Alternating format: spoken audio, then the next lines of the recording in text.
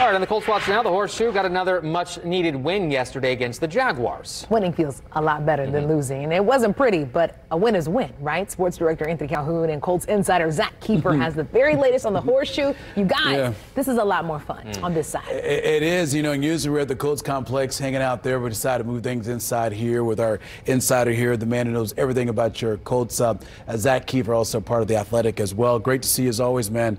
Um, as I mentioned before we went to break there, these Mondays are a lot of fun when they get victories. Um, what did you learn about this football team yesterday and how they got it done against Jacksonville? Yeah, AC, this was ugly, but sometimes you got to win ugly, and I think Frank Reich made that clear after the game, right? They didn't have their best stuff on offense, besides maybe the first quarter when Jonathan Taylor ran all over them like he's been running over just about everybody.